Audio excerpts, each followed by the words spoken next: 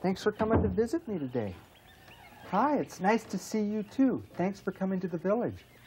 You came at just the right time. I have a special treat for you. Stay right here. Wonder what it could be. Here you oh go. boy, cookies. Here you go. Kim, why don't you pass these out? Everybody have a seat and let's have some cookies.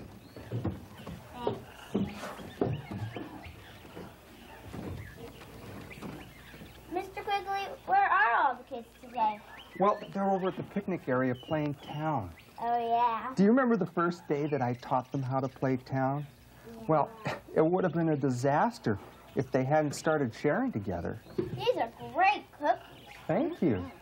Well, that day, we had a picnic table all set up with all the houses and Oh, boy, this truck, you can get all this stuff. this is fun. Look, neat. Yeah, this is fun. Sure. This is great, Well, eh? that's fun. What do you think, Good. Yeah. Nice. Oh, that's good. Thank you. Wow, thanks.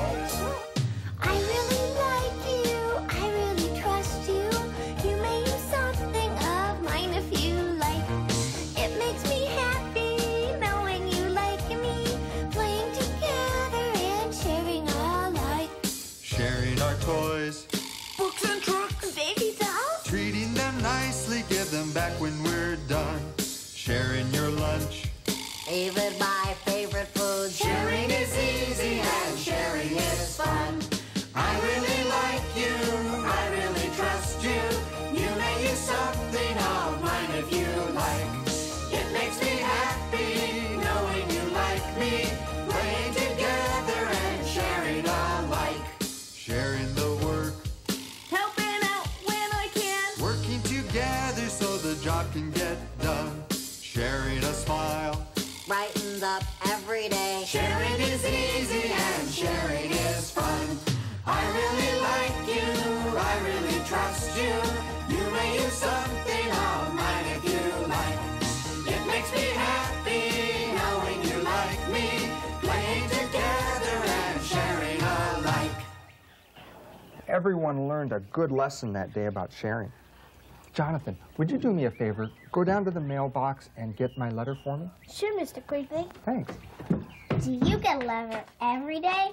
Every day I get a letter. Wow. It's fun.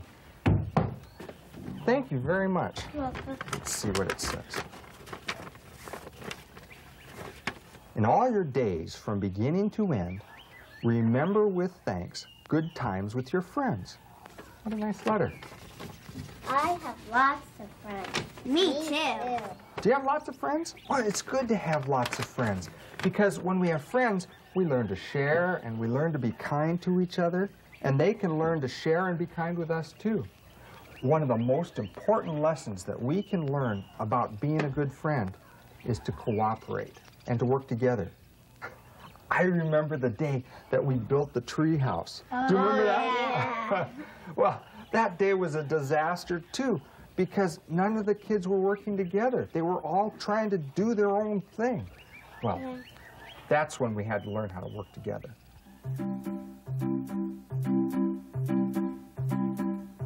When we've got a job to do, together we'll get the job done. You help me and I'll help you, together we'll get the job done. Ayo, together we'll get the job done. Ayo, ayo, ayo, ayo, together we'll get the job done. with our saws and hammers too. Together we'll get the job done. We'll finish what we have to do. Together we'll get the job done.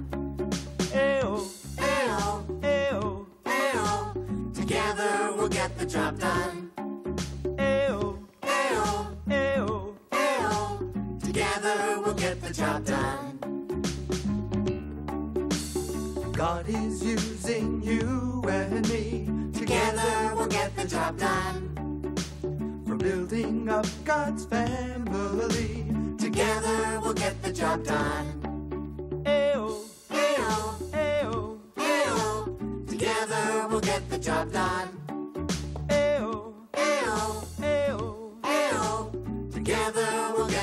Job done. You see, when we work together, it's like a story from the Bible about a man named Nehemiah. The wall of Jerusalem was on the ground. The bricks and the stones were laying all around. The enemies of God had torn it down, and there was no one left living in the holy town. Nehemiah heard about the city wall. He said, We've got to rebuild it so it's strong and tall. So we prayed to God and said, Forgive our sin and let the people live in Jerusalem again. Build it, Build it, build it, build it,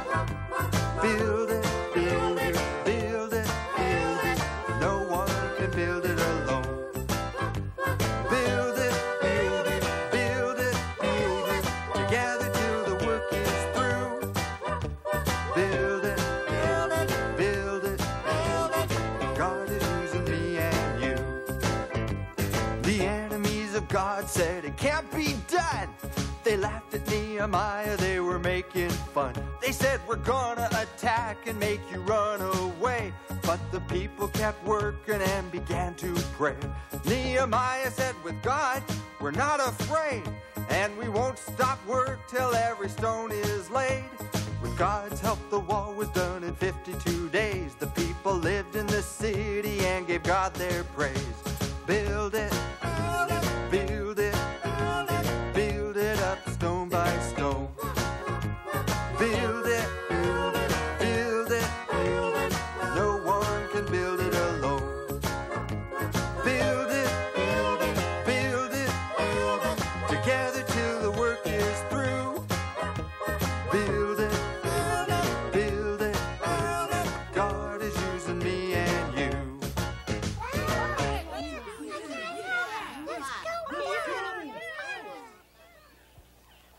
So that day we finished the treehouse.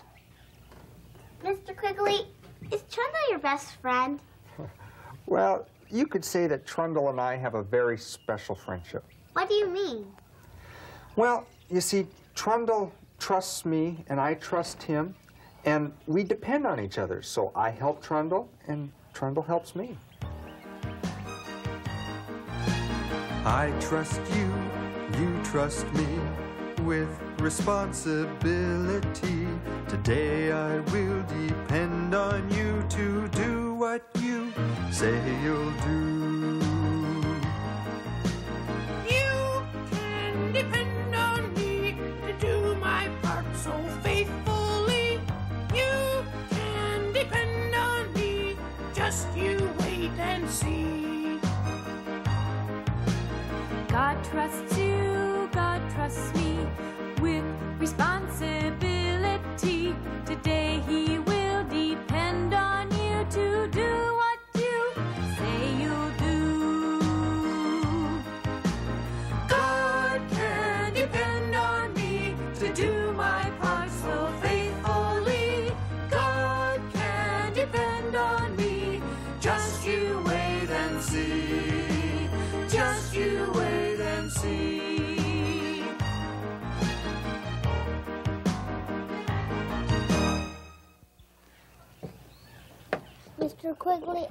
Bubba a lot. Is he always happy? Is Bubba always happy? That's an interesting question, Anthony. You know, I don't think anybody is always happy. In fact, Bubba sometimes can be real hard on himself. I I remember the day when he was real discouraged because he couldn't catch a ball and he couldn't jump rope like all the other kids in the village.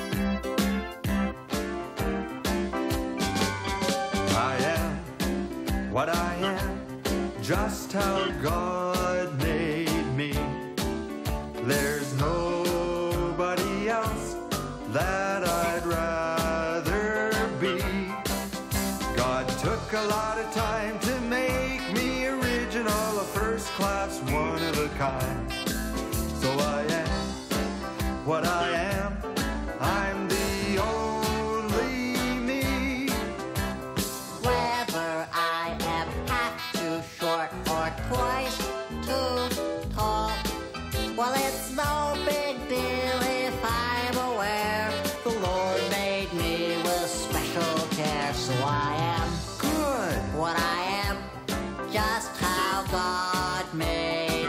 That's right, Bubba. There's nobody else that I'd rather be.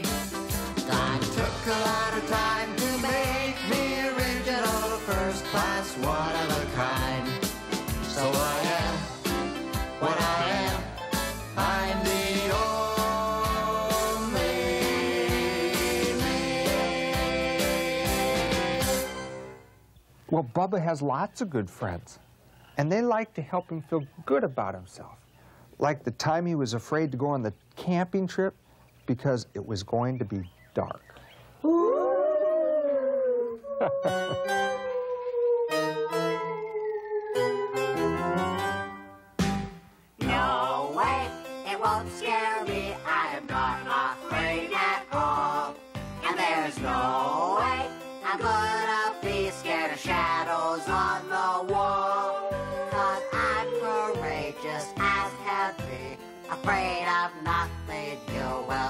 So when I face adversity, I'll stand up straight and tall.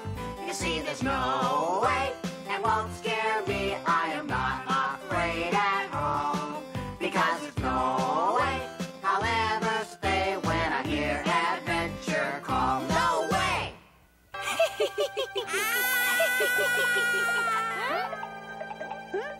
Bubba's lucky to have such good friends like Danny and Spike. Oh, you're right, and they're good friends.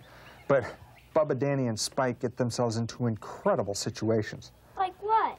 Well, one of the funniest times, though it wasn't that funny at the time, was when Bubba, Danny, and Spike decided that they wanted to win the big blue bubble babble balloon machine in the oh. contest.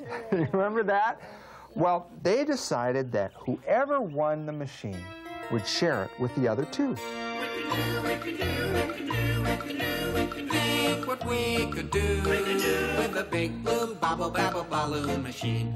Think what we could do with a big blue bubble babble balloon machine. I'd share it with you. That's something you could trust. If people need balloons, they'd probably come to us. Oh, Think what we could do with a big blue bubble babble balloon machine.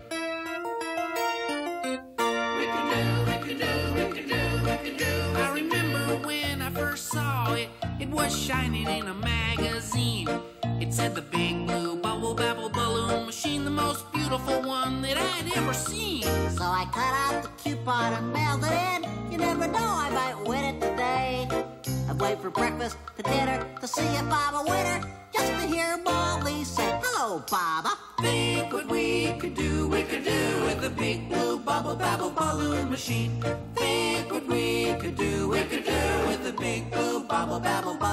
balloon machine. I'd share it with you. That's something you could trust. If people need balloons, they'd probably come to us. Oh, Think what we could do, we could do with a big blue bubble babble balloon machine. Oh, boy. And to Spike's surprise, she won the balloon machine. Oh, yeah, I remember that. Well, she was so happy about winning the machine, but that day she had a terrible cold. Well, every dollar that it seems my eyes get red and itchy and I have the sniffles. So then I ought to stay at home and take it easy all because I have the sniffles. Time I go outside, my mom puts lots of tissue inside my pocket. And so I always am prepared if itchy eyes and runny nose mean the sniffles.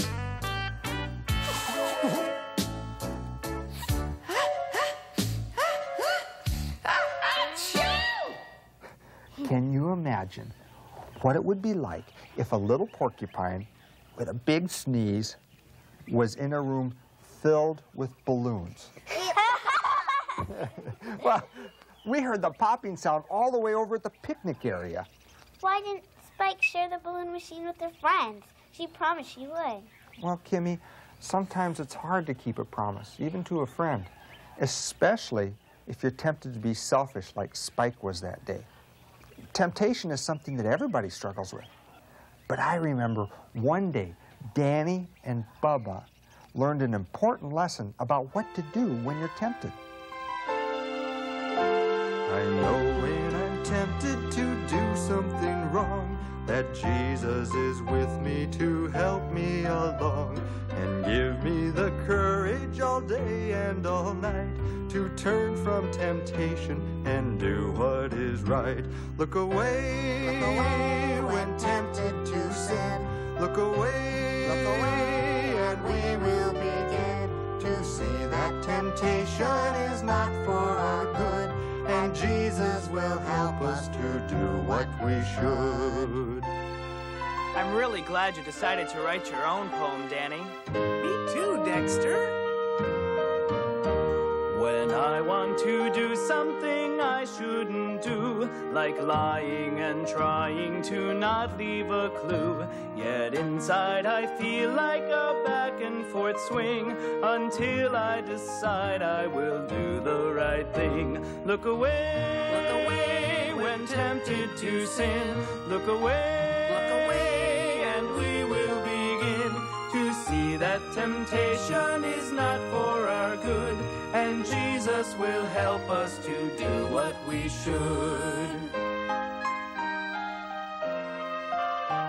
Temptation is common as everyone knows, and never is easy to stand and oppose. The voice down inside us that says to give in, but Jesus will help in the battle to win. Look away, Look away when tempted to sin. look away, Look away, and we will begin to see that temptation is not for our good, and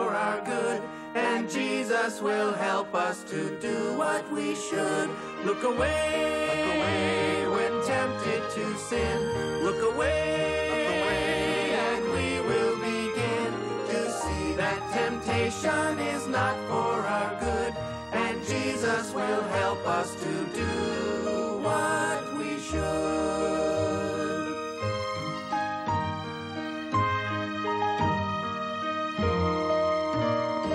So Danny and Bubba learn to look away when you're tempted to sin.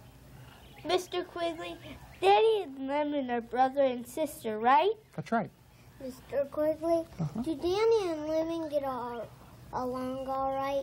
Yeah, I think they get along really well. In fact, they're not only brother and sister, they're good friends. Oh, sure, sometimes they have some disagreements, but they really love each other, and they like to find all kinds of ways to help each other out.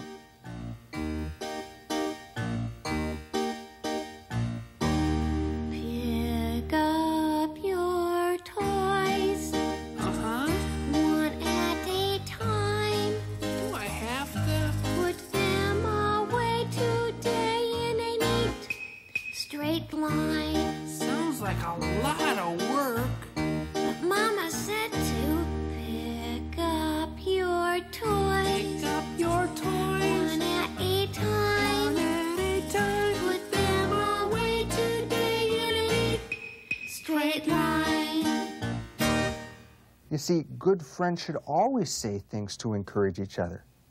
You know, God is our friend too, and He loves it when we talk to Him about our day and about the things that concern us, or just to say thank you.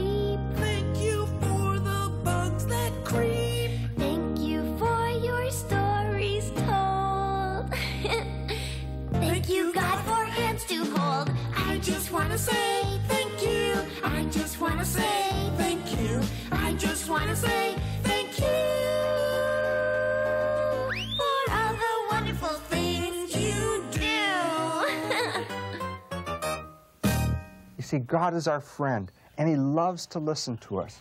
It's called prayer. We can tell Him everything about ourselves, and He's with us day and night. Prayer is talking to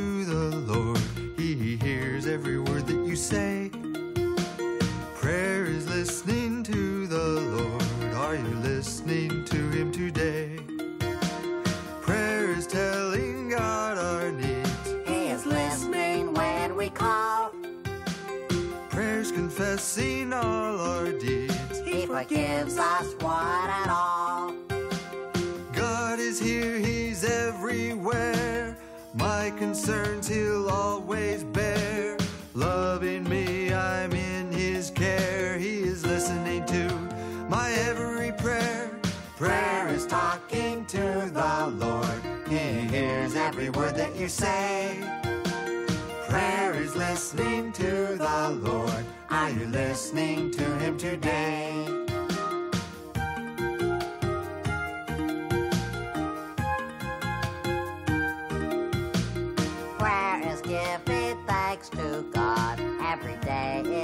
From above.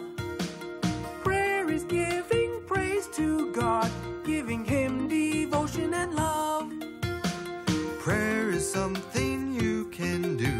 You and God each play a part. Prayer is simply loving God and telling Him from your heart. God is here, He's everywhere. My concerns He'll always bear. Loving me, I'm in His care. He is listening to my every prayer. Prayer is talking to the Lord. He hears every word that you say. Prayer is listening to the Lord. Are you listening to Him today? Mr. Quigley, would it feel right if we went to go see the kids and play town? Would you all like to go play town? Yeah! Sounds like fun. Let's go. Okay. Remember my letter from this morning? It says, In all your days, from beginning to end, remember with thanks good times with your friends. I'm sure glad that you're one of my friends. Thanks for coming to visit the village today. Remember, God loves you, and we do too. Goodbye.